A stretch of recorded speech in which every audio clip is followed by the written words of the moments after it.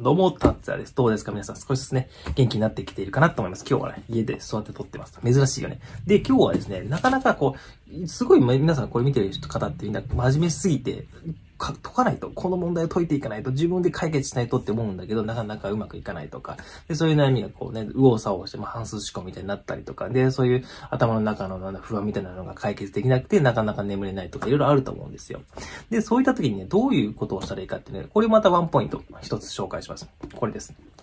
あの、天才はこう考える。天才科学者はこう考える。別に天才になろうとかそういうことじゃなくて、どう、何かっていうと、人の考え方を参考にするっていうことですね。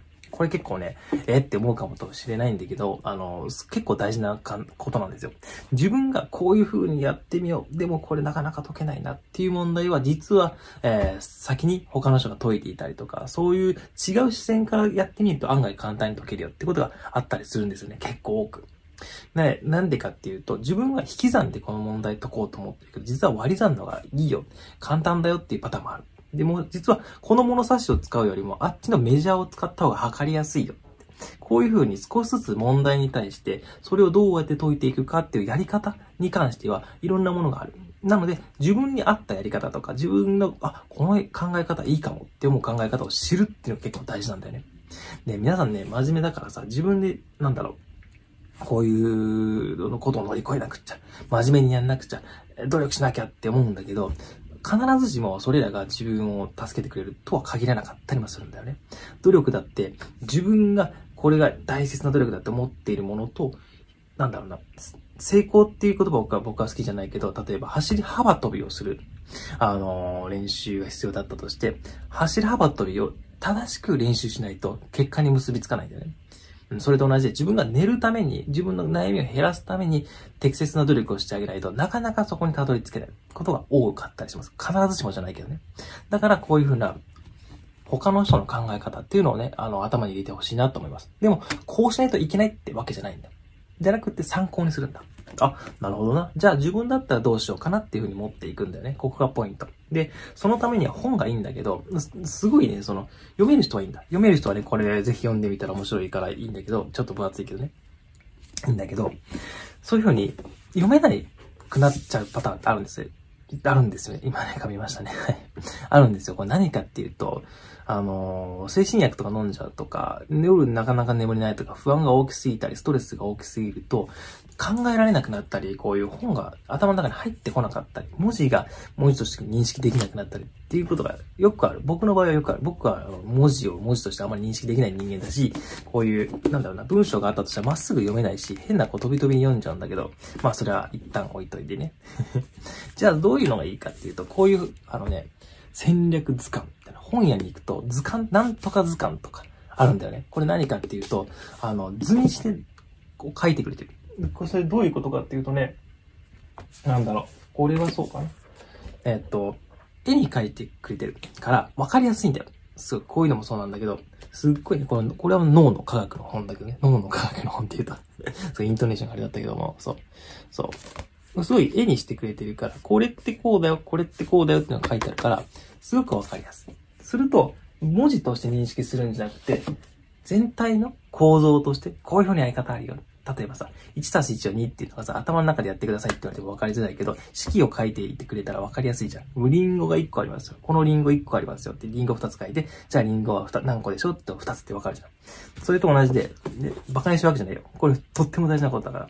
えー、ね、これもそうだよ。こういうふうに、これは、じゃあこの本じゃ何かっていうと、ちょっと話がそれると、いろんな人、えー、昔からね、いろんな人が、例えば、これナポレオン。ナポレオンの戦略ってどうだったのとか、考え方ってどうだったのとか、えっ、ー、と、他にもいろいろいるんだけどもね、あの、いろんな昔の哲学者とかも含めてね、あこれも頭いい人たちの戦略ってどうだって考えたの？どういうふうに考えて他と差をつけたの？どうやって考えてその問題を解決したの？っていうのを図にして書いてくれたり、ものすごく簡単に書いてくれてる。だからこういう図鑑っていうね、この本本屋行ったら、一応図鑑っていうものを見てみるといいと思う。心理学図鑑とかもあったりとか、運動図鑑みたいなものがあったり、結構図鑑って最近流行ってて、ものすごくね、わかりやすいんだ。そう。なのでね、一回見てみるといいと思います。で、話を戻すと、自分が今、あの、問題を解決しようと思った時に、真面目に考えてもなかなか答えが出ない。こういう動画を見てもなかなか答えが出ないっていう時は、人の考えを参考にしてみるっていうのが大事になります。そのために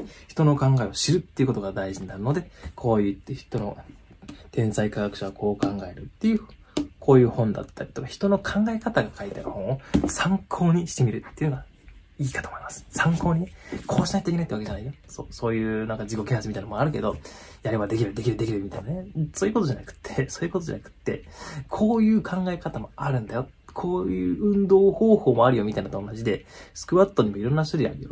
ね、片足でやるものもあるし、前に歩きながらやるスクワットもあるし、あの、ランジスクワットっていうね、前、足を前と後ろ開いてやるのもあるし、足を幅広く取ってスクワットするっていうのもある。それぞれ効きが違う。っていうのと同じ。だから、こういう考え方はこういう利点があって、こういう考え方はこういう利点がある。あの、いつも紹介してるの、イフゼンルールっていうのもそうだよね。シンプルにルール作るんだけど、こういう時はこういう風にするっていうのをあらかじめ決めとくと、自分の負担が減る。っていうのと同じ。え、ウープっていうね、考え方もあったりとか、いろいろあるんだ。まあよく PDCA っていうのもあるよね。そういうものを知ろう。っていう話ですね。そういうのと同じ。考え方を知る。考え方のレシピを知ると、自分なりのレシピを作れる。料理もそうだよね。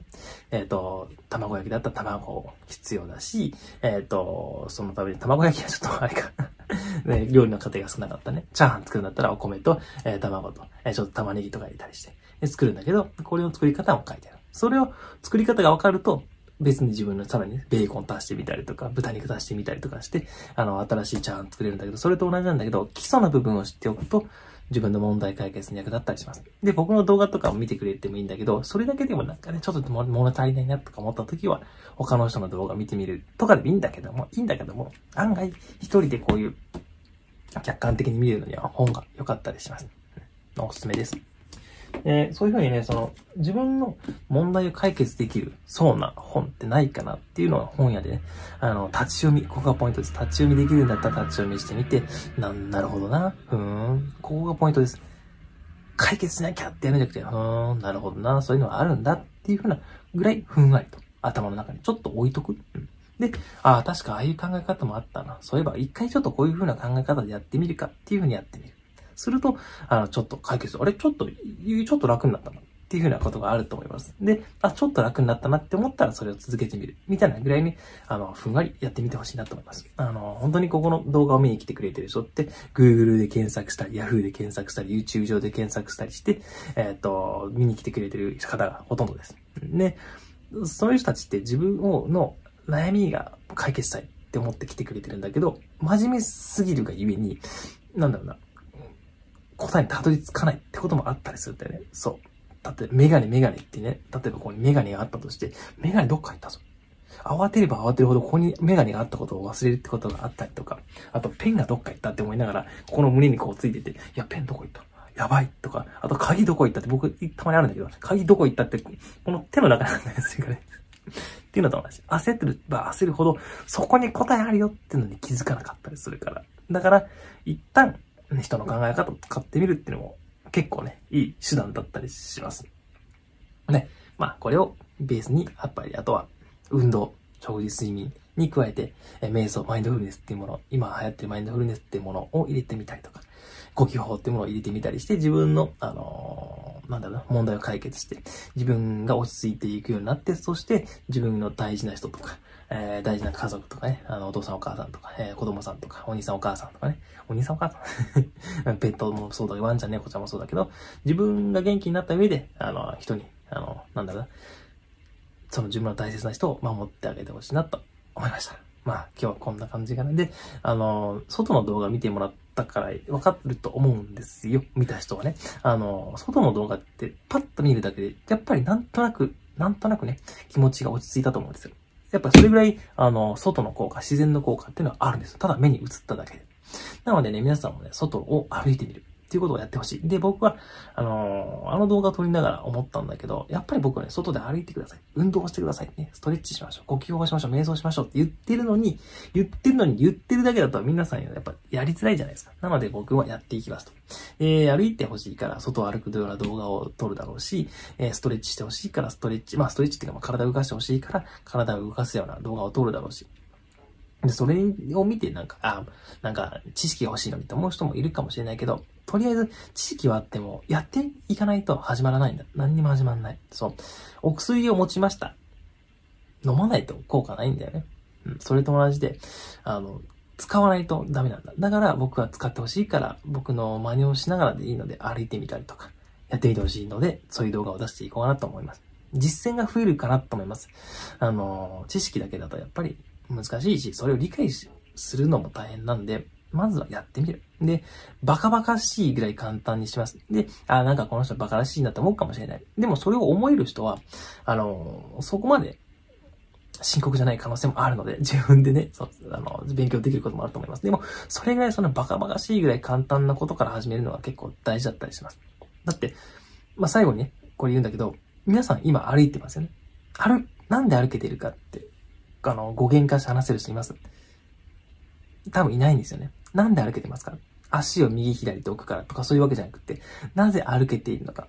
赤ちゃんの時歩けなかったですね。皆さんみんな歩けなかった。でも、そこから歩けるようになった。もしその方法が分かってるんだったら、逆立ちして歩く方法も分かるはずです。歩く方法が分かってるから。でも、分かんない。ね。それと同じです。